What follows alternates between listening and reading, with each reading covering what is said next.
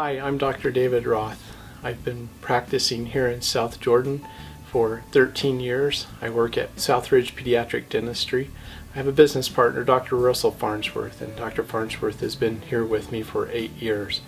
We are both specialty trained pediatric dentists, which mean we've gone, which means we've gone to school for two extra years beyond dental school to receive special training to uh, treat children only. We're both trained to handle anxious children and to treat any needs that your children may have, as well as treat those with special needs.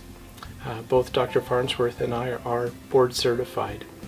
Uh, we both are on staff and have privileges at Primary Children's Medical Center and have um, the option to sedate children both uh, in a hospital setting as well as here in our office. So we can handle any special needs that your child may have. Our office takes most insurances and we're easy to find here in South Jordan at 2651 West, 104th South, Suite 103.